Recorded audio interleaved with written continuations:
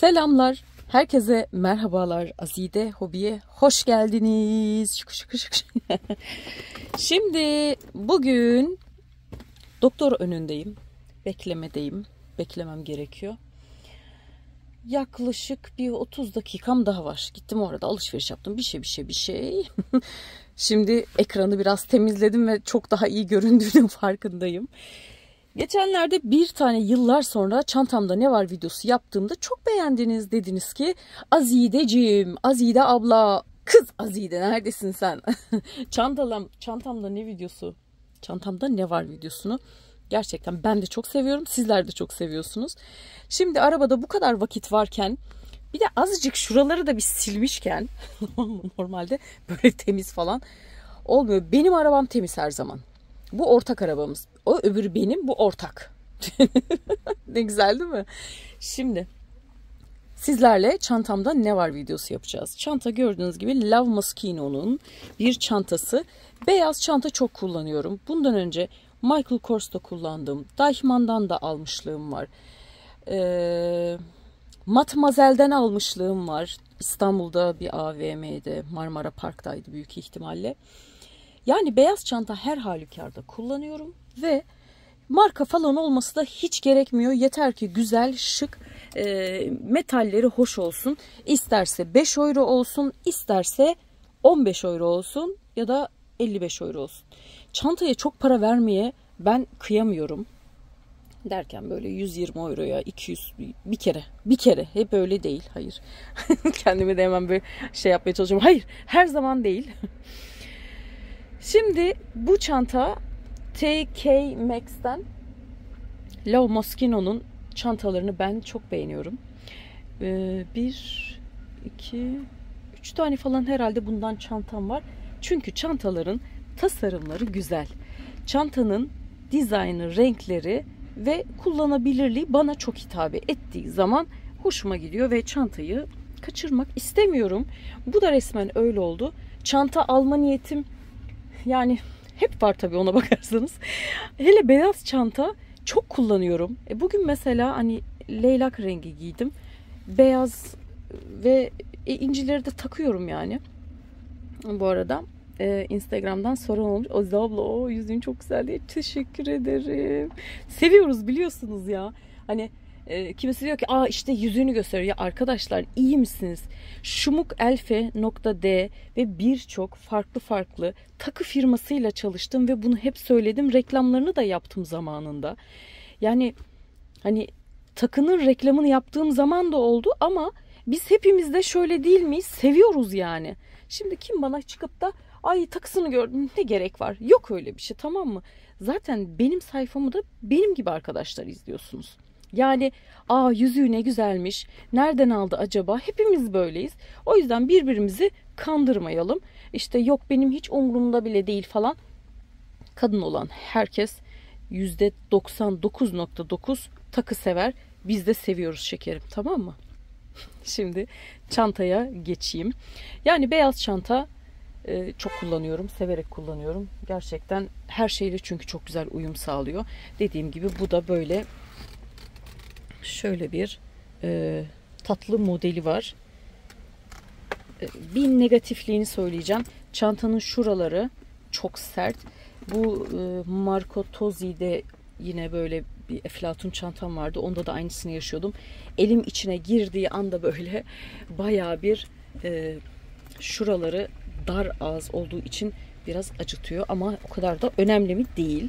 Hemen şöyle su var. Hatta bunu kızlar ben bir içeyim müsaadenizle. Su içmeyi unutmayın. Su cildi güzelleştirir, bağırsaklarınızı temizler, iç güzelliğinizi ortaya çıkarır. Su iyidir. Gözüm önünde resmen kaza olacaktı şu anda. Amcanın teki parktan çıkıyor. Oh! Ani! Az daha gözümün önünde canlı canlı. Şu suyu içeyim geliyorum hadi. Bekleyin geliyorum. Ya da siz o arada bir çay kahve falan bir şey yapın. Uzatacağım ben haberiniz olsun. Hadi görüşürüz. Evet ay. Bu mineralli bir su. Ben mineralli su hiç sevmiyorum. Soda oldum olası hiç sevmem. Arkadaşlarım bile hep içerken ben asla içmezdim. Bizimkiler içerken ben içmezdim.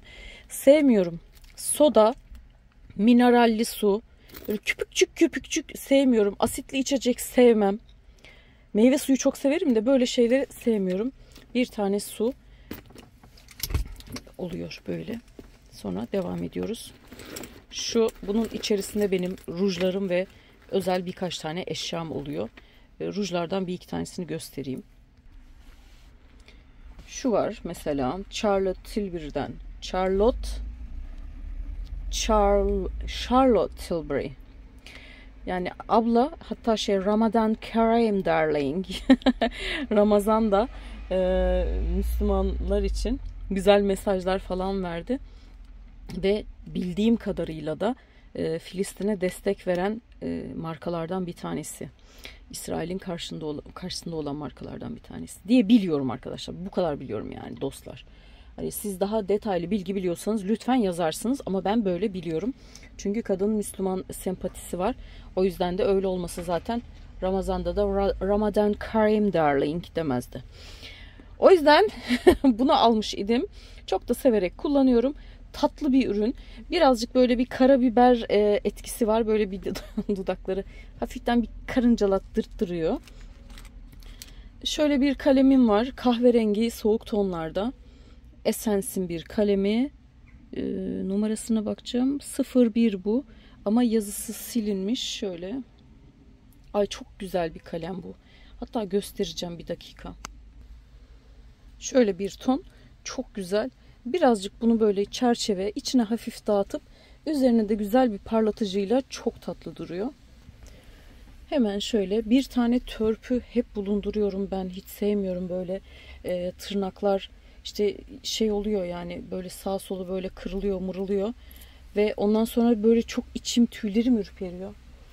Genelde törpü hep bulundurmaya çalışıyorum ve şu Dior'dan yine lip e, gloss, lip pump lip gloss. Bu tonlar çok hoş duruyor. Onun içinde normalde de bir iki tane mesela Too Faced'in de oluyor bazen. Bazen değiştiriyorum onların yerini. Sonra devam ediyoruz. Bir adet muz var çünkü çok sabah erken saatlerde çıktım dışarıya. Ve e, saatler geçti. E, dedim yarıs, yarım yarım paylaşırız. Şu anda ama hala acıkmadım. Saat 11'e 10 var. Sonra şu Dior'dan biliyorsunuz yani yeni bunlar alınmıyor. Almıyoruz. Dior'un ürünleri, Chanel, e, Yves Saint Laurent vesaire vesaire almıyorum. Bu yine daha önceden aldığım setin içerisinde doldurmalı Dior'un şöyle bir ürünü. Bunun çıkarıyorsunuz böyle içerisine istediğiniz parfümünüzü doldurup seyahat boy olarak çanta boy olarak kullanabiliyorsunuz. Çok seviyorum ben bunu gerçekten. Pratik böyle ürünlerin hastasıyım ve buna benzer en az 4 tane falan evde vardır. Ve genelde de hep birilerine bir şey hediye etmek istediğim zaman ben kendime ait bir şeylere hediye etmeyi çok seviyorum.